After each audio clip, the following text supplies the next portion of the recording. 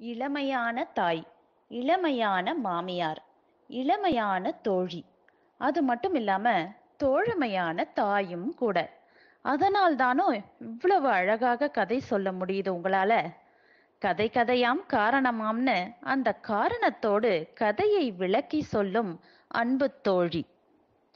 குழந்தைகள் மட்டுமா? பெரியவர்களையும் கட்டி போட்டு விடுகிறாய் உன் கதைகள் மூலமாக. ஒவ்வொரு கதையும் ஒரு விதம். ஒவ்வொரு தகவல் சுமந்து எங்களை மகிழ்ச்சி அடைய வைக்கிறது.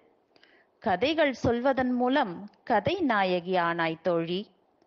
அடம் பிடிக்கும் குழந்தைகள் கூட உங்கள் அழகு கதைகள் கவர்வதால் அவர்கள் சமத்து குழந்தைகள் ஆகிவிடுகிறார்கள் கதை சொல்வது என்பது ஒரு கலை. அதை வரமாகவே பெற்றிருக்கிறாய் தோழி. எங்களுக்கும் தான் கொஞ்சம் சொல்லிக் கொடுங்களேன். கதை சொல்லும் முசிறி தோழிக்கு நாங்கள் விசிறி. அன்பான பேச்சும் உபசரிப்பும் தோழமையான குணமும் என்றும் உன் அடையாளம். பூஜைகளில் வழிபாடுகளில் உங்கள் திறமையை கண்டு நாங்கள் தினம் தினம் வியக்கிறோம். அழகாக கோலம் போடுகிறீர்கள் பாட்டும் பாடுகிறீர்கள். இன்னும் எத்தனை எத்தனை திறமை அப்பப்பா வியக்கிறோம் நாங்கள்.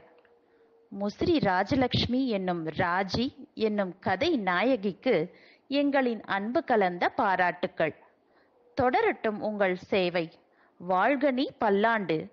தோழி தினம் தினம் உங்கள் கதையை கேட்க காத்திருக்கிறோம். ஆவலோடு நாங்கள்.